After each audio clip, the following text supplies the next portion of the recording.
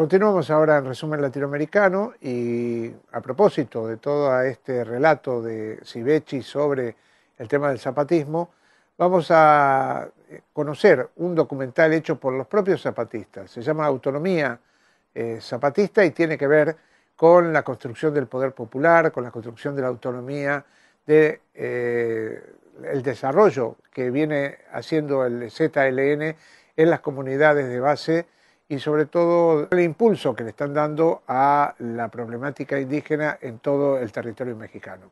Vamos a ver este documental. Dedicado a las bases de apoyo zapatistas, los mares, las juntas de buen gobierno y autoridades autónomas, al EZLN en su vigésimo quinto aniversario. Sin su heroica resistencia y su valeroso ejemplo, nada de esto sería posible.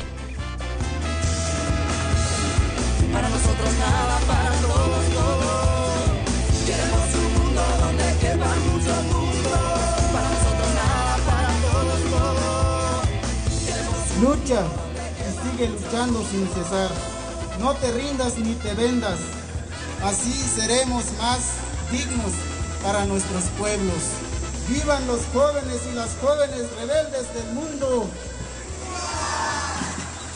Vivan los caracoles zapatistas. Vivan los municipios autónomos rebeldes. Para nosotros vimos necesario la lucha porque lo vimos, que no nos tomen en cuenta el mal gobierno. Nos tratan como animal, sin derecho y despreciados. De hoy seguimos luchando y gobernando entre nosotros para cambiar el mal sistema de los capitalistas del país. Primero de enero, 1994. Primera declaración de la Selva Lacandona. El EZLN toma siete cabeceras en una acción simultánea. Declara la guerra al Supremo Gobierno. Anuncia las once demandas zapatistas a las que después se agregarían derecho a la cultura y a la información.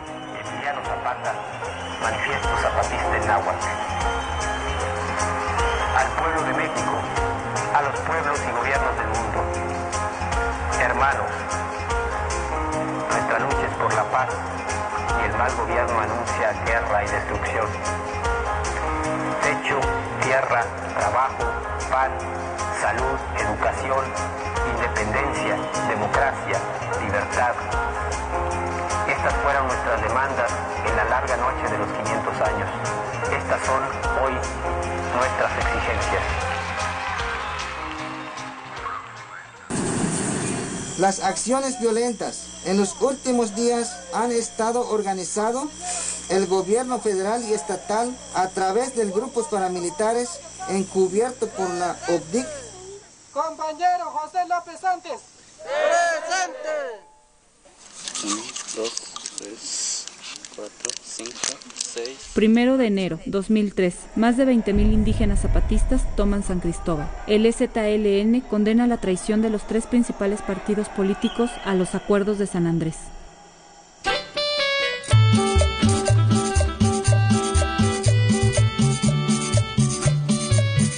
Julio 2003. 30 municipios autónomos rebeldes zapatistas, mares, anuncian cambios en su estructura y funcionamiento. 8 de agosto 2003. El EZLN anuncia la desaparición de los Aguascalientes y el nacimiento de los cinco caracoles y juntas de buen gobierno. Proponen el plan La Realidad Tijuana en oposición a los planes neoliberales como el Plan Puebla-Panamá. Para que están lejos.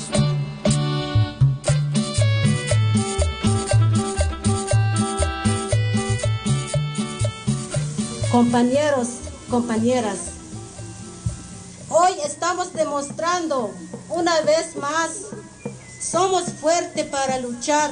Nuestra principal arma de lucha ahora es nuestra resistencia y nuestra organización de todos los pueblos. Por eso estamos aprendiendo a construir nuestra autonomía.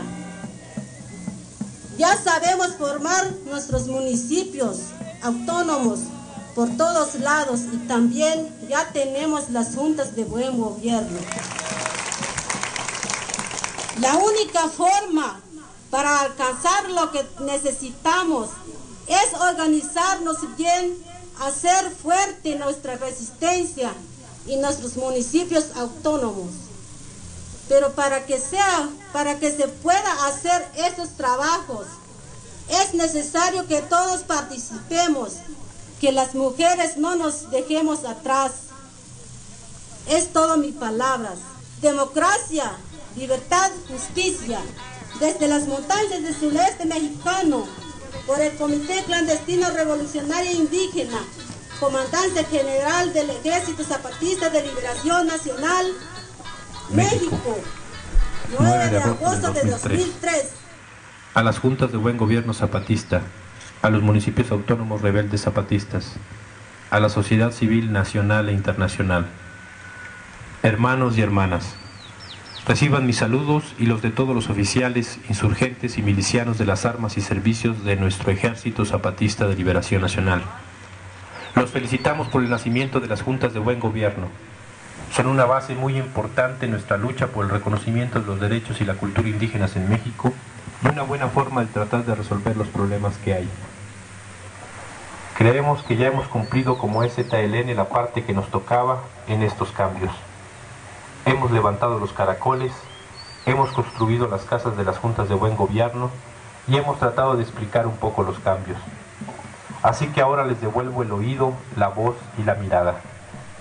A partir de ahora, todo lo referente a los municipios autónomos rebeldes zapatistas se hablará por sus autoridades y por las juntas de buen gobierno. Con ellas habrá que tratar también los asuntos de los municipios autónomos, tales como proyectos, visitas, cooperativas, conflictos, etc.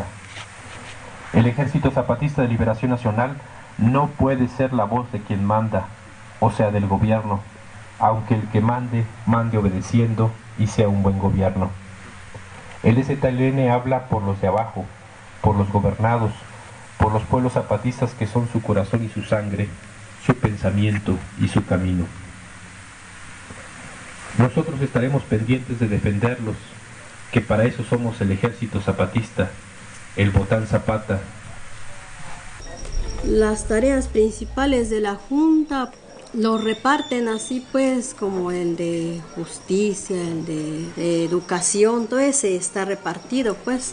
Decimos nosotros es áreas de trabajo, por ejemplo la salud, educación, comercio, justicia, agrario, porque también hay problemas pues de, de, tierra, por ejemplo en cada municipio pues hay problemas de tierra y nosotros tenemos que verlo eso pues.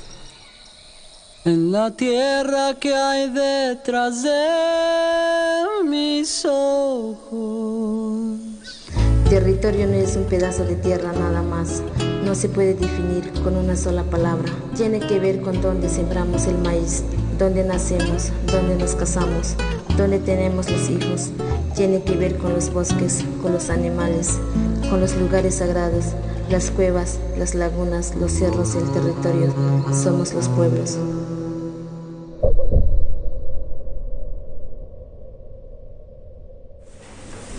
La justicia es este nosotros como nuestra forma de hacer pues es el que tiene, tenga la razón pues el que tenga la razón pues es el que sale pues este bien porque tenemos que citar las dos partes tiene que declarar cómo está su problema el tal compañero y el otro la otra parte tiene que escuchar entre ambos pues y aquí tenemos que este, quedar pues entendidos quién es que tiene la razón y el que sale de por sí culpable pues tiene que pagar su castigo. Nosotros no aceptamos aquí dinero sino que el que comete un este delito pues recibe su castigo. Depende pues el acuerdo de todos los pueblos. Y si por al caso es que robó algo, entonces lo hacemos que, que devuelva pues, que lo haga devolver al dueño. Pues así queda pues también libre.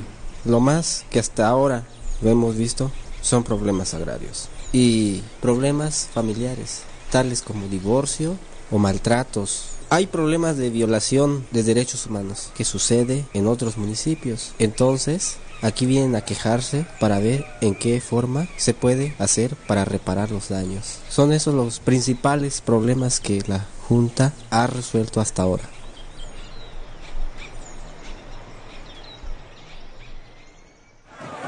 Por favor, guarden orden.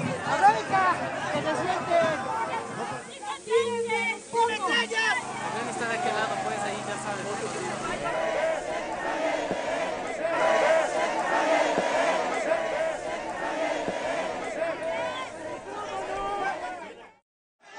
3 y 4 de mayo 2006.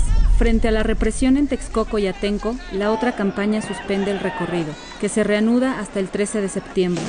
Alerta roja en territorio zapatista.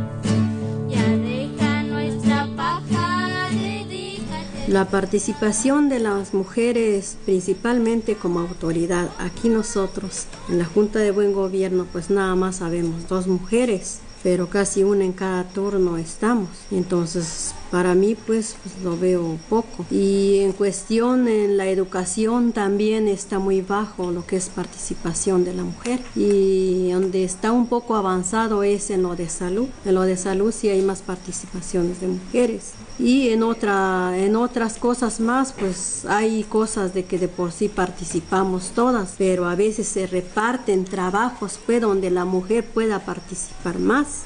Entonces, este, ahí sí está un poco bajo. No es de que porque los compas no les den libertad de participar, sí les dan, pero a veces ellas mismas se sienten como que no pueden hacerlo. Entonces, la verdad sí, aunque no tengamos un gran estudio y todo eso, sí lo podemos hacer. Entonces, eso es lo que estamos tratando de ver, puede que todas tengamos la participación.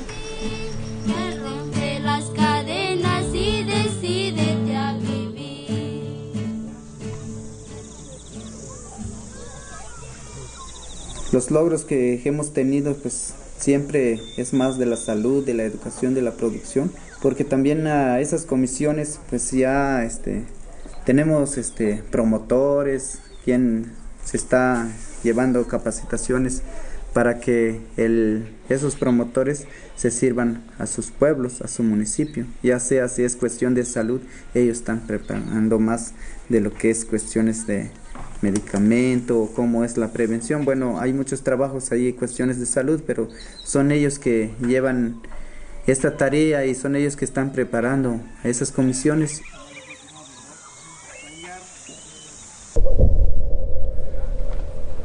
Como hace tiempo no ocurría, nuestras comunidades, nuestras compañeras y compañeros están siendo agredidas. Entendemos que nuestras posiciones no sean recibidas con la misma apertura y tolerancia que hace años.